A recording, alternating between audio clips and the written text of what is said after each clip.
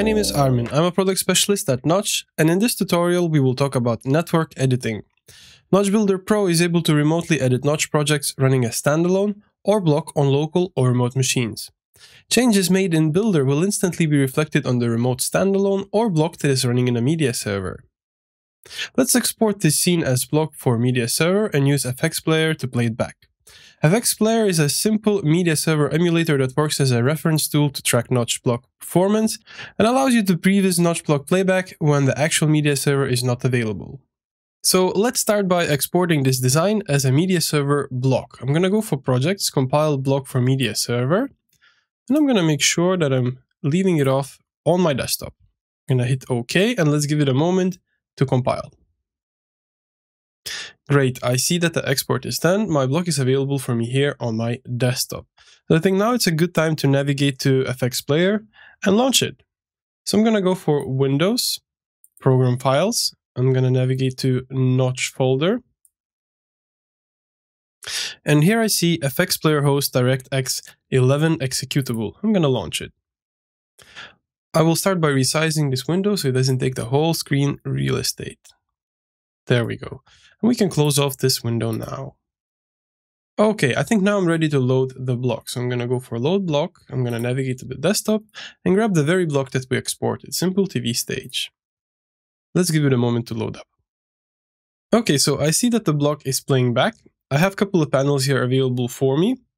And before we start network editing session, I'm to make some changes. I'm to reduce the resolution here a little bit. I'm to go for 920, 518 resolution. So it fits just a little bit better here in my available real estate on the screen. As you see, I have some basic stats on the performance of the block in the FX player. So I see the average milliseconds it takes to render a frame and the general frame rate. Since this design consists of a couple of layers, I actually can see them here in the second tab, Instances. And as you see, if there's an open parameter, that is displayed and available for use as well. Right, I think now we're definitely ready to network connect to this block. So I will go for Devices, Network Connections, and I'm going to connect to this block. Now, if I was using this block on another machine, I would refer to the IP address of the machine that I want to connect to. Since I'm running the block and builder on the same machine, I can just leave this as a local host. So I'm going to hit connect.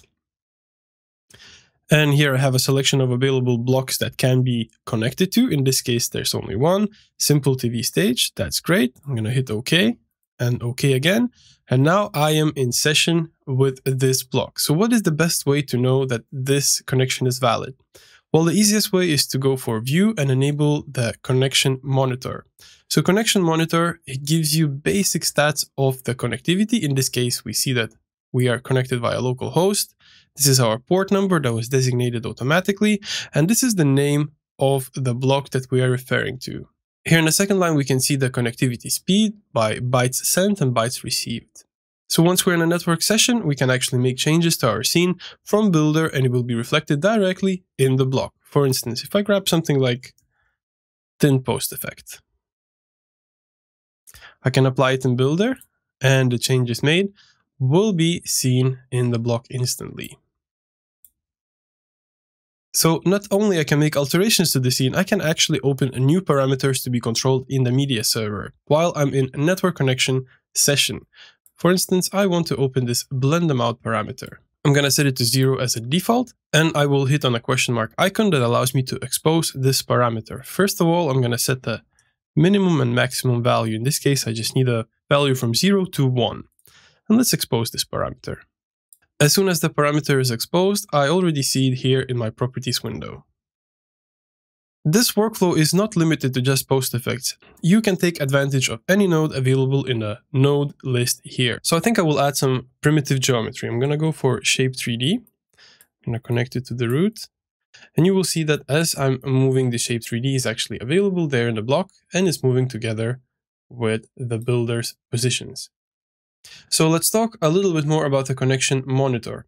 From the connection monitor panel, I can actually switch layers inside of the media server. All I have to do is enable the layer select and then go to the desired layer here in builder and hit on a switch to selected layer. All of a sudden, I am seeing the layer that I selected from the builder in the media server. So this is extremely handy if you need to preview quite a few layers running in a media server. So for now, I'm going to switch back to the first layer. There we go, switch to the selected layer. Third property available for us here is control time from builder. Now, this property is reserved to the executables. So if we were to export a standalone application, we would be able to control the playback time of the executable via builder's timeline. Now, since we're playing this back in the media server, media server is treated a little bit different, so this property is not applicable. So let's head a little bit further and let's talk about profiling. So profiling allows you to see the performance of your nodes in the GPU and CPU milliseconds. This property is not reserved just to the builder. You can actually see the performance of the nodes in your block as well. All you have to do is enable profiling and choose network.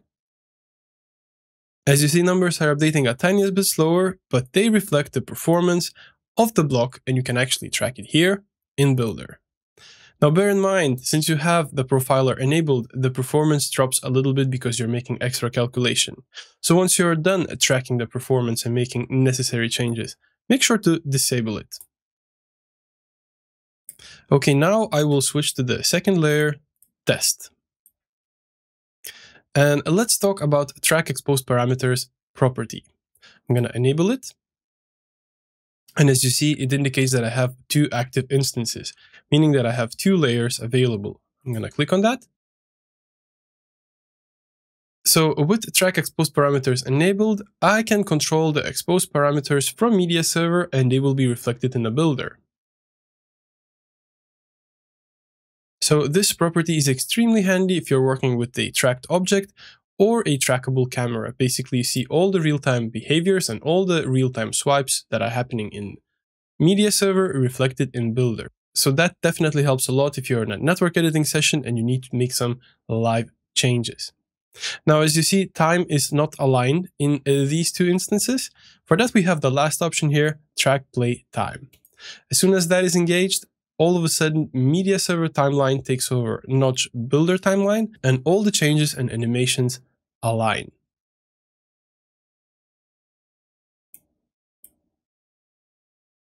There are a couple of extra things that are worth mentioning. Remote connection works over TCP IP with each block or standalone listening on an auto-selected port. You can use remote editing over a solid Wi-Fi connection as well as wired. At the moment, all of the changes that we're making in the builder are only reflected in the block. To lock in and save all the changes you've made, you would have to recompile the blocks. You would have to go for project, compile block for media server, overwrite the block, or make a new instance that you would be able to swap out in a media server. I think this concludes the basic network editing tutorial. See you in the next one.